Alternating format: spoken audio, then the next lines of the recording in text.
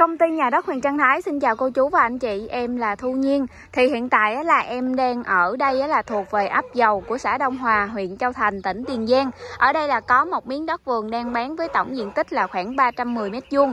Đất là đất cây lâu năm thì chủ kêu giá là 370 triệu. Em sẽ giới thiệu cho cô chú anh chị mình cùng xem nha. Đất mình á, là sẽ được nằm trên mặt tiền đường đá xanh công cộng thì đường này hiện tại là đường xe máy thôi nha. Ô tô thì mình sẽ không có đi được. Nhưng mà nếu như mà cô chú anh chị mình à, đi theo cái hướng này, mình đi tầm khoảng 200 mét thôi là sẽ đụng một cái con đường đan ấp dầu. Đường đan đó là xe ô tô cô chú anh chị mình có thể đi được nha. Thì à, từ đây mà cách cái đường ô tô là chỉ có khoảng 200 mét thôi ha. Và từ vị trí đất của mình ở đây á mà cách cái đường tỉnh lộ 876 á trung bình là tầm khoảng một cây số nha. Từ đường tỉnh lộ 876 rẽ phải là cô chú anh chị mình đi về quốc lộ 1A về ngã ba Đông Hòa. Nếu như mà rẽ trái là mình sẽ đi về Vĩnh Kim nha. Xung quanh đây thì em thấy dân cư cũng khá là đông luôn và đa số ở đây là nhà vườn nghỉ dưỡng rất là nhiều luôn hết cô chú anh chị. Điện, nước, wifi ở khu vực này là có đầy đủ hết luôn. Đây, mọi người xem nè ha. Rồi thì quay về cái miếng đất mà hôm nay em muốn giới thiệu cho cô chú anh chị mình á là cái miếng đất ở bên đây nha. Ở trong sổ của mình á, thì tổng cái diện tích đất có là 310 mét vuông và hiện tại chỉ là đất cây lâu năm thôi nhưng vị trí ở đây là vẫn sẽ lên thổ cư được bình thường nha. Miếng đất này á, thì hiện tại là chủ đang hạ giá còn 370 triệu nha. Do là gia đình chủ còn tiền để xây công việc cho nên là đã hạ giá xuống sập sàn luôn. Nói chung là hạ giá sát nút luôn rồi đó cô chú anh chị. Nếu mà mình có quan tâm á, thì mình có thể à, liên hệ cho bên công ty nhà đất quyền trăng Thái để tụi em có thể dẫn cô chú anh chị đi xem và mình sẽ gặp chủ thương lượng về giá cả luôn luôn nha. Rồi thì à, đất mình á là sẽ được hai mặt tiền đường luôn, ở trong sổ là có thể hiện luôn nha. Nếu như mà cô chú anh chị mình lấy theo cái mặt tiền đường này á, thì đất của mình á là sẽ được nằm ở hướng tây nam và mặt tiền này của mình là 22 m thì 22 m là cô chú anh chị sẽ tính từ vị trí cái cây trụ ở đây nè.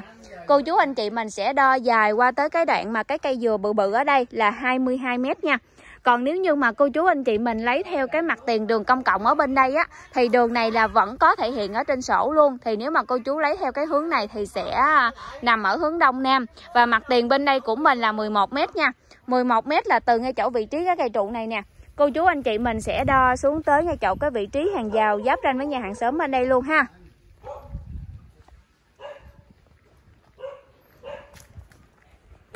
Đây, tới ngay chỗ cái vị trí cái hàng rào mà giáp ranh với nhà hàng xóm ở đây luôn là 11 mét ha. Đất mình thì chạy dài qua bên đây luôn. À, đất thì nền đã cao ráo rồi và xung quanh là đã có trụ hàng rào ranh giới rõ ràng hết luôn rồi và sổ hồng thì có đầy đủ và có sẵn luôn cô chú anh chị mình muốn công chứng sang tên lúc nào cũng được hết nha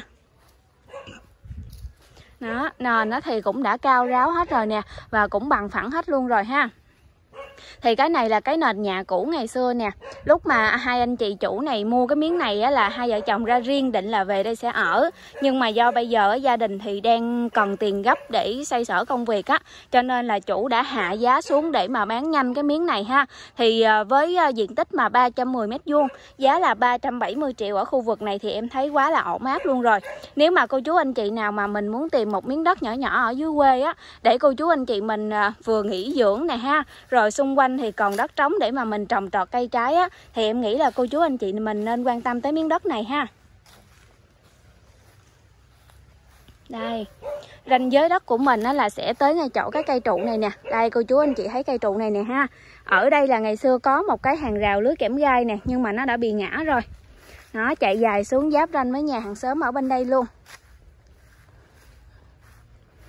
Đó, đây là cái nền nhà cũ nè giáp ranh với cái mí hàng rào hàng xóm bên đây luôn ha. Thì giáp bên nhà mình, bên đây là nhà hàng xóm nè. Đối diện qua bên đây cũng có nhà hàng xóm luôn. Còn mà phía trước mặt tiền bên đây thì là đất ha, đất vườn của hàng xóm luôn. Xung quanh là không có màu mã nha. Nền nó thì đã cao ráo hết luôn rồi. Cô chú anh chị mình về là mình chỉ cần xây nhà và ở thôi. Vị trí ở đây thì điện nước wifi là có đầy đủ hết luôn nha.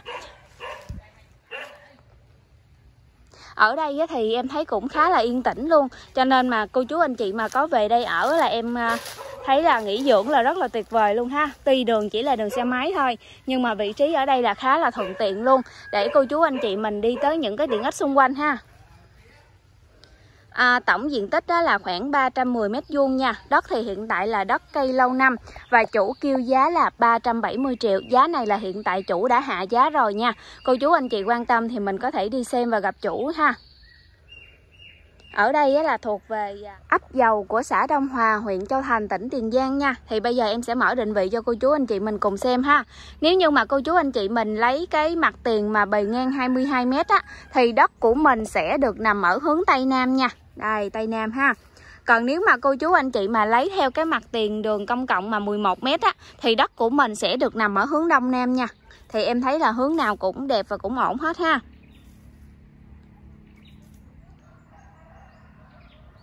Rồi thì cô chú anh chị mình cùng xem nè ha. Cái nút màu xanh xanh là cái vị trí em đang đứng ở đất của mình Thì xung quanh đây là dân cư rất là đông rồi nè. Thì từ đây á, mà mình đi ra cái con đường ấp dầu 5m đường công cộng này là tầm khoảng à, 200m thôi Thì đường ngoài đây là xe ô tô 16 chỗ nè. Xe tải là mình có thể đi được ha. Thì mình đi thêm tầm khoảng 900m nữa là mình sẽ ra tới đường tỉnh lộ 876 nè. Rẽ phải là đi về chợ Đông Hòa nè Rẽ trái là đi về Vĩnh Kim đó cô chú anh chị xem đường đi rất là thuận tiện luôn ha. Thì từ cái vị trí nhà à từ cái vị trí đất của mình ở đây nha mà cô chú anh chị mình đi tới cái đoạn mà chợ Đông Hòa nè à, trường học hay là ủy ban đâu đó thì trung bình mà cô chú anh chị mình đi là tầm khoảng 3,4 cây số nha. 8 phút thôi là mình sẽ tới ha. Thì ờ, ngay chỗ cái vị trí mà chợ này nè thì sát bên là em thấy có trường học nè ha. Rồi có siêu thị điện máy xanh bách hóa xanh thế giới di động đầy đủ hết luôn. Đây ở đây là chợ Đông Hòa nè, thì kế bên là có điện máy xanh, siêu thị bách hóa xanh nè ha. Rồi bên đây thì có trạm y tế nè ủy ban của xã Đông Hòa nè, tiệm tạp hóa này ha. Rồi bên đây là có trường tiểu học Đông Hòa nè, trường trung học cơ sở Đông Hòa luôn. Đó, rất là nhiều. Rồi có những cái quán ăn, quán cà phê luôn ha. Cây xăng là có đầy đủ luôn. Trung bình mà cô chú anh chị mình đi là chỉ có 8 phút thôi là sẽ tới ha còn nếu như mà từ ở đây cô chú anh chị mình muốn đi chợ Vĩnh Kim thì vẫn được luôn từ đây mình đi ra đó là khoảng 5,4 cây số cô chú anh chị đi khoảng 11 phút là mình ra tới chợ Vĩnh Kim rồi nha còn nếu như mà từ vị trí đất của mình ở đây cô chú anh chị mình mà cho con em mình đi học á thì mình sẽ đi trường mầm non mẫu giáo cấp 1 cấp 2 của xã Đông Hòa. Cách mình là khoảng 3,4 cây số là khoảng 8 phút nha. Còn nếu mà đi học trường cấp 3 thì mình sẽ đi ra ngoài Vĩnh Kim thì từ đây ra đó trung bình là nằm khoảng 5,4 cây số. 11 phút là mình sẽ tới nha. Còn từ cái vị trí đất của mình ở đây mà cô chú anh chị mình đi về tới thành phố Mỹ Tho thì trung bình mình đi chỉ có tầm khoảng 16 cây số thôi. Đây cô chú anh chị mình đi khoảng 25 phút là mình về tới thành phố Mỹ Tho nha. Còn nếu như từ đây á, mà cô chú anh chị mình đi về tới bến xe miền Tây của thành phố Hồ Chí Minh á thì chỉ có khoảng 69 cây số thôi. Cô chú anh chị mình đi là 1 giờ 20 phút là về tới bến xe miền Tây của thành phố Hồ Chí Minh rồi ha. Thì em cảm ơn cô chú anh chị mình đã theo dõi hết cái video của em nha.